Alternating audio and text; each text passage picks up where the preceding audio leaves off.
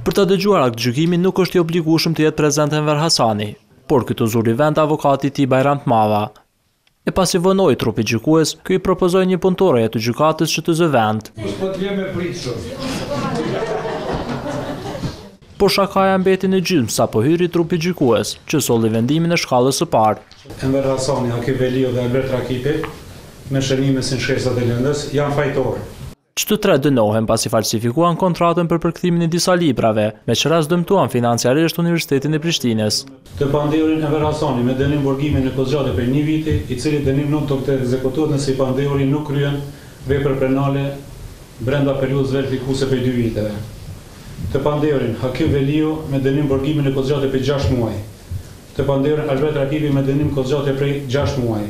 Të dy fundit sipas kryetarit të trupit gjykues në vend të mbajtjes së dënimit mund ta paguajnë atë me nga dhjetë mijë euro secili, porse që të tre bashkë duhet t'ia kthejnë Universitetit të Prishtinës shtatëdhjetë mijë e njëqind e tridhjetë e një euro, aq sa ishte dëmi.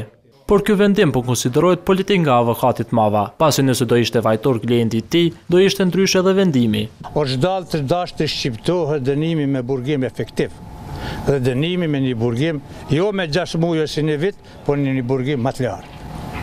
Kjo edhe një herë e vërteton se sa gjyqësia dhe shteti në tërësi është i kapur nga politika. Njëjtë mendon edhe avokati i Hakif Veliut.